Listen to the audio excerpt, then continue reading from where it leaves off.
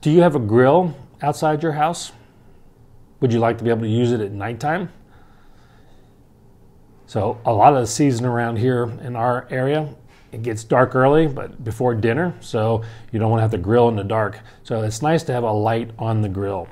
And you got to be careful when you're doing grill lighting because you got to watch basically what color or temperature light you're using. If you get a real high Kelvin temperature light, and you're cooking things like fish, it makes your fish look gray and it's not very appetizing. And sometimes it's hard to even tell whether or not the item you're cooking is getting cooked completely.